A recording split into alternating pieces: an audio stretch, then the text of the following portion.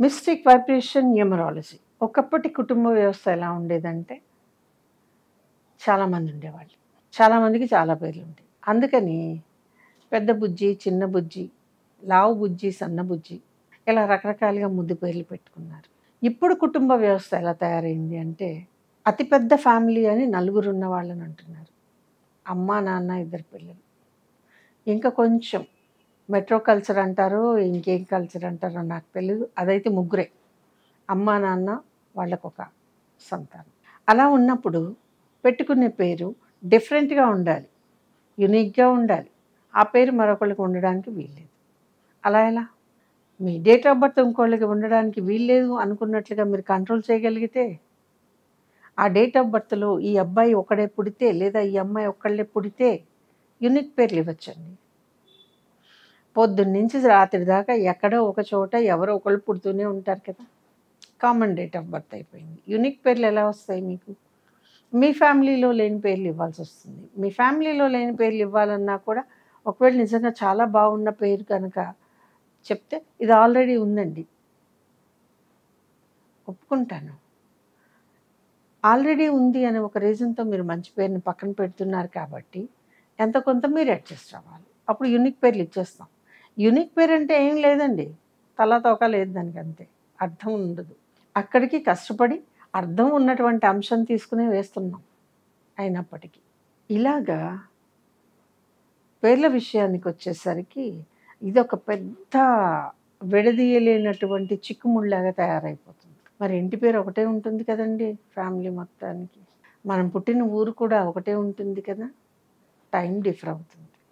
దేన్ని తీసుకోవాలి? దేన్ని తీసుకోకూడదు. మీ డేట్ ఆఫ్ బర్త్లో ఏ అనే అక్షరం లేదు వద్దు అంటే మీరు మానేయండి.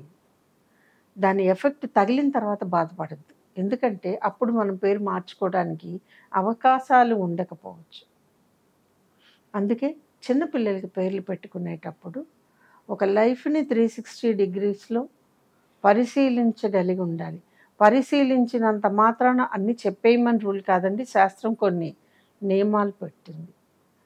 కొన్ని కొన్ని విషయాలు ఒక పది పదిహేను ఏళ్ళ తర్వాతే చేయాలి కొన్ని కొన్ని విషయాలు ఏడేళ్ళ వరకే చెప్పాలి. కొన్ని కొన్ని విషయాలు పన్నెండేళ్ళ తర్వాత మాత్రమే మనము విప్పి చెప్పాలి. మీకు చూడగలిగే శక్తి ఉన్నప్పటికీ మీరు ఎప్పుడైతే ఈ నియమాన్ని దాటి అన్నీ చెప్పేస్తూ ఉంటామో అక్కడ రాసింది జరగదు. బికాజ్ ఓపెన్ అయిపోయింది కాబట్టి దానికి ఆ శక్తి లేదు కాబట్టి పక్కకు తప్పుకుంటుంది. ఇప్పుడు డిస్నీ తయారు చేసిన రెండో మూడో రూల్ మీ దగ్గరికి వస్తుంది. ఖచ్చితంగా అది అయితే బాగుంటుంది. అర్థమైంది కదండి? సో ఇన్ని ఉంటాయి.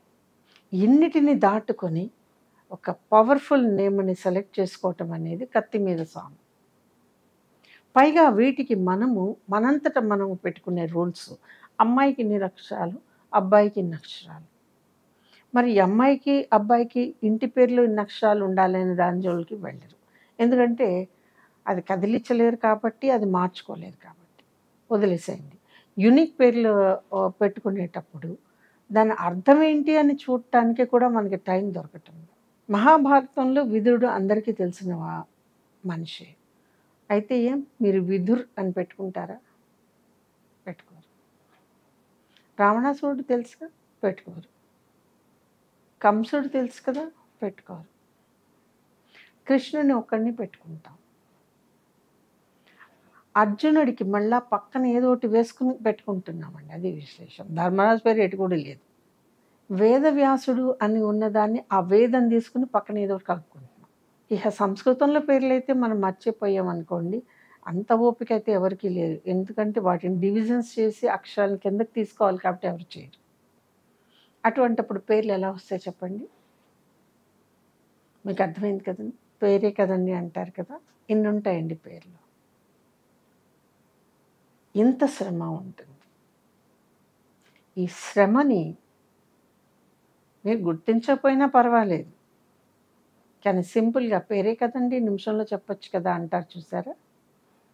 అక్కడే సరిగ్గా చేద్దాం అన్నటువంటి ఆ ఓపిక సహనం జిజ్ఞాస పోతుంటాయి అన్నమాట ఇలాంటి వాళ్ళ కోసమా? మనం ఇంత కష్టపడాలి అని ఎప్పుడైతే మనకి మైండ్లో థాట్ వస్తుందో మీకు సరిగ్గా పేరు రాదు కదా?